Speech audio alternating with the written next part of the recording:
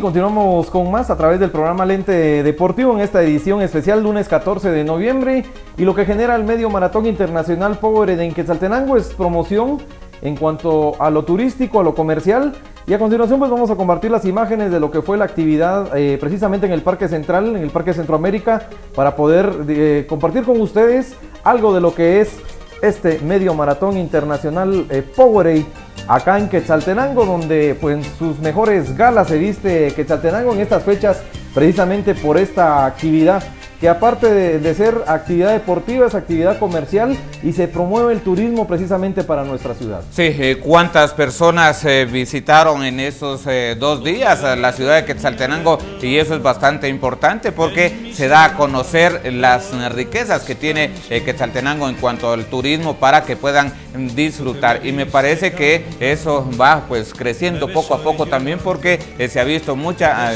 gente que está visitando en esta actividad lo que es eh, previo a esta carrera Power y lo que se realizó en la municipalidad eh, pues para esta actividad. Sí, las eh, playeras del recuerdo, la playera conmemorativa del recuerdo, la expo que estuvo ubicada en el Salón de Honor Municipal donde cada uno de los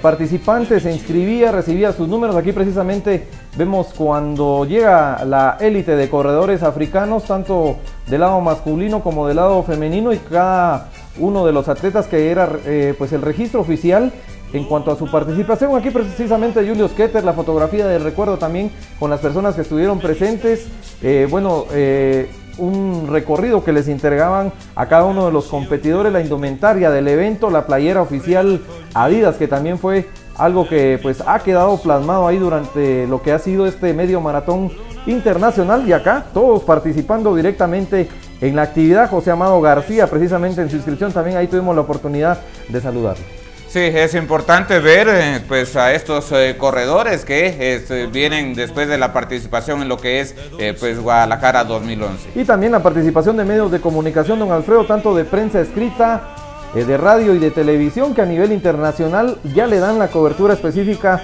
a esta actividad que aparte de, ser un el deporte que se practica el atletismo se combina con la tecnología que Adidas impuso precisamente pues en esta oportunidad en la tecnología que va de la mano con la actividad deportiva y así fue como transcurría eh, precisamente en el Parque a Centroamérica eh, lo que era la expo y la participación de la gente también que nos estuvo visitando precisamente este fin de semana acá en Quetzaltenango. De ahí pasemos a lo que fue la conferencia de prensa en las instalaciones del Hotel Bella Luna, la presentación directa de los atletas élite que iban a tener participación directamente en esta oportunidad, tanto nacionales como internacionales, y así como nos tiene acostumbrados este medio maratón internacional Power fue como se realizó la actividad es la única carrera acá de Quetzaltenango, la de de Shela, que premia de mejor manera a la élite nacional y a eso me debo y por eso estoy acá y mañana voy a estar al servicio de cualquier corredor que necesite de mi apoyo en la cinta asfáltica. Pues me siento muy contento de estar acá y gracias por tomarnos en cuenta, porque la verdad es que es una carrera muy importante, perdón, eh, mejor que la de Cobán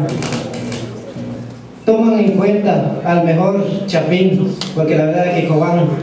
no nos toman en cuenta. Muchísimas gracias.